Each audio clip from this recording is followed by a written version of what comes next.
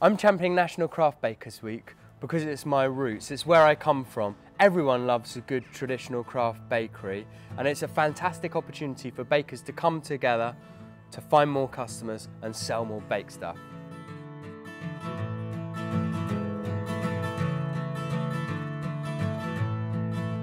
Growing up in a craft bakery with five generations of uh, experience has been a fantastic opportunity for me. I mean, from the day dot, I remember making bread with my dad, uh, wheat sheaves for the Harvest Festival, seeing my uncles and my brothers getting involved in the bakery, and what I learnt was real values about proper traditional bread. The love and passion doesn't just exist here. I mean, you can go all over the country, I mean, to the Highlands in Scotland or to the beaches down in Cornwall, and you can see proper craft bakery making traditional bread really great wherever you go. And National Craft Bakery is a fantastic opportunity for everyone to get together and really shout about their craft. The Big Taste is a crucial part of National Craft Bakers Week. Here in Chipping Sodbury, we're going to be inviting customers and people on the high street to come in and taste our wares. Visiting a local craft bakery isn't just about what you put in your cake hole, it's about the conversations that happen over the counter, the people that you meet there, the fact that you're supporting a great local enterprise is all part of visiting a bakery.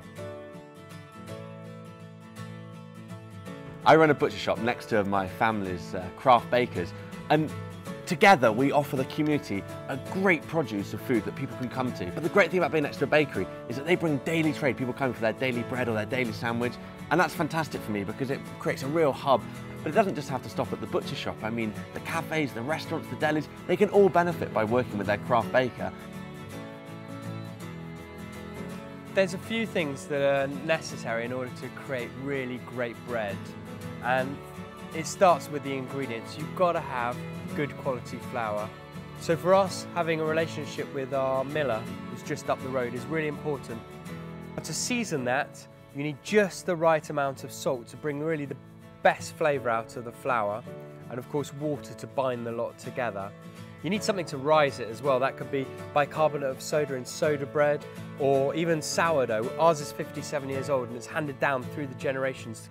All these wonderful ingredients come into the bakery and then we allow time to develop great products. Time's really key. Good skills is really important, but the thing that really melds this all together and makes it an experience that's worth going out of your way for as a customer to visit our bakery is the passion we put into what we do. Your local bakery needs you.